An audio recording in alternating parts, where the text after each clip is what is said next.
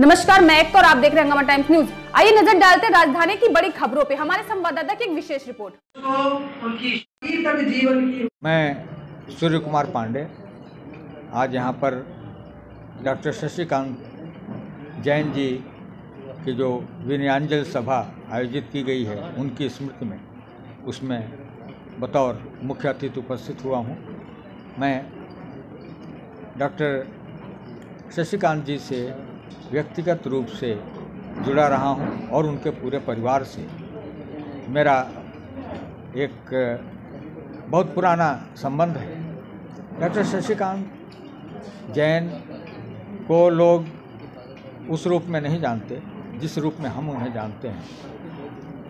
जैन समाज के लिए उन्होंने इतिहास के पृष्ठों से ऐसी ऐसी बातें निकालकर सम्मुख रखी हैं। जो आज के समय में पठनीय हैं और उद्धरणीय हैं। उनके भीतर एक अन्वेषी व्यक्तित्व था, विद्वान पुरुष थे, ऊर्जा संपन्न थे, भले ही वह अपने जीवन के नब्बेवें बसंत की ओर अग्रसर हो रहे थे, तब भी उनकी ऊर्जा और उनके कार्य की ललक नई पीढ़ी के लिए प्रेरणा देने वाली उनके दो प्रमुख कार्य यहाँ मैं उल्लेख करना चाहूँगा। जो उन्होंने बहुत सारे शोध कार्य किए हैं और जो उन्होंने जैन धर्म तथा दूसरे धर्मों के जो बातें हैं, जो कहीं इतिहास की पढ़तों में चली गई, उन्हें खोला है।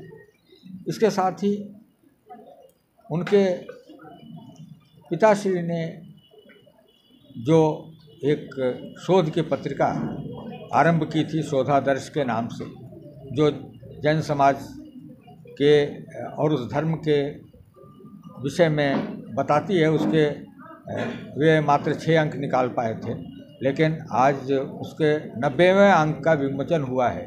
तो ये पूरी यात्रा तक, यानी नवासीवें अंक तक डॉक्टर शशिकांत जी इससे और इसके संपादन से जुड़े रहे और इतनी जानकारीपूर्ण लेख और सामग्रियाँ वे उसमें प्रकाशित किया करते थे कि उनको पढ़े बिना रहा नहीं जा सकता था। किंतु एक पक्ष उनका और भी था और वह पक्ष था एक साहित्यिक पक्ष, जो वह लखनऊ के बहुत सारे साहित्यकारों से भी जुड़े हुए थे और उनकी कहानियाँ, कविताएँ, लेख आदि भी शोधादर्श में प्रकाशित किया करते थे। इसके साथ ही उनकी जो महत्वपूर्ण पुस्तक और अंतिम पुस्तक मैं कहता हूँ, आई है, वह नारद के संवाद है, जो एक व्यंग्य लेखों का संग्रह है। या यूँ कहूँगा कि पूरा एक डॉक्यूमेंट्री है, जिसमें राजनीति से लेकर समाज की विडंबनाओं को अंकित किया गया है। मैं आज के इस अवसर पर ऐसे पुण्य पुरुष, ऐसे प्रज्ञान पुरुष डॉक्टर शशिकांत जैन जी को सादर श्रद्धांजलि अर्पित करता हूँ। जैन, डॉक्टर शशिकांत जी के शिष्यों में मेरी गिनती हो सकती है क्योंकि 1988 में जब मैं लखनऊ में आया, तभी से मैं उनके संपर्क में रहा। और जैसा हमारे वक्ताओं ने बताया कि वो फ़ोन के माध्यम से हम लोगों को बहुत चर्चा करते थे और उपदेश दिया करते थे। प्रायः वो जब भी फ़ोन करते थे तो पहले पूछ लेते थे कि आपके पास समय है कि नहीं बात करने का? तो हम लोग उनको कहते थे कि बड़े मज़े से बात करिए और हमको अपनी बात बताइए। और वो कोई ना कोई बिंदु पर चर्चा करते थे। खास करके हम उसको कह सकते हैं निर्भीक पत्रकारिता। जैसे हम लोग कबीर के बारे में सुनते आए हैं कि जो घर फूके अपना खड़े चले हमारे साथ तो उस तरह से कोई लोभ छोड़ करके उनकी पत्रकारिता के साथ चला जा सकता था। मैं भी एक दो पत्रिकाओं का संपादक रहा हूँ और इसलिए वो हमारे साथ ज़्यादा शेयर करते थे, खास करके जैन धर्म के बारे में, संस्कृत के बारे में, आज के अध्यापन के बारे में। तो उस समय उनकी जो निर्भीकता थी वो हम लोग डरते थे कि इनकी निर्भीकता हम लोगों में एक मन में भय होता था कि अगर इस तरह की हम लोग निर्भीक हो जाएँगे तो पता नहीं क्या हाल होगा। इतना उनकी निर्भीकता थी। समाज में जो पुरस्कार मिलते हैं या जो भी लाभ मिलता है उनको उनसे कोई ला, ला कोई उनको लालच नहीं थी कि हमको किसी तरह का सम्मान मिल जाए या कोई पुरस्कार मिल जाए। वो अपनी बात कहने में कभी का संकोच नहीं करते थे। एक दो पुस्तकें भी मैंने उन, प्रकाशित करवाई जब उन्होंने चर्चा की बाबूजी की, कि ज्योति प्रसाद जी की युग युग में जैन धर्म किताब है।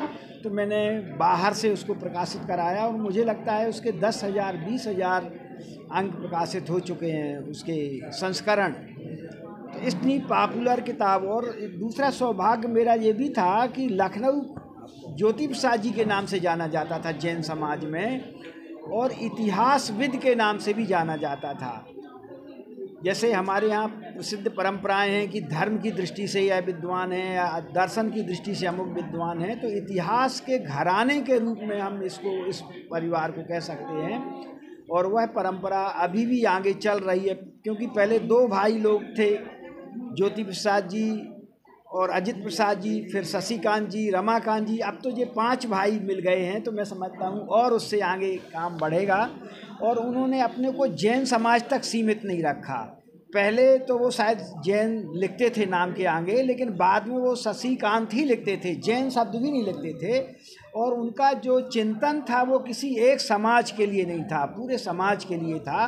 कभी कभी मैं खोज करता था उनके बारे में कि ये किस पार्टी से जुड़े हुए हैं। तो मुझे बड़ा आश्चर्य होता था कि वो किसी भी पार्टी से जुड़े नहीं थे और सबकी आलोचना करते थे गुण दोष के आधार पर। अगर उनको लगता था कि कोई पार्टी अच्छी है, कोई व्यक्ति अच्छा काम कर रहा है तो खुले दिल से उसका सपोर्ट करते थे। और जहाँ भी वो समझते थे कि इन्होंने कहीं भी कमज़ोरी दिखाई है तो उसकी निंदा मतलब निंदा करने में, आलोचना करने में बिल्कुल संकोच नहीं करते थे। तो ऐसा व्यक्ति मिलना बहुत ही दुर्लभ है आज के समाज में। मुझे एक और आश्चर्य हो रहा था कि हम लोग ज्योति निकुंज में हर साल एक कार्यक्रम किया करते थे, ज्योति प्रसाद जी के सम्मेलन में। और यह हम लोगों का सौभाग्य होता था कि बुज़ुर्ग लोगों का, उनके साथियों का भी हम लोगों को आशीर्वाद मिल जाता था। जैसे आज हमको पांडे जी का आशीर्वाद मिल गया, उनके कारण से संभव नहीं है भविष्य में। तो इस तरह से ज्योति निकुंज में ही यह पाठ होना चाहिए था, मेरे मन में एक प्रश्न था।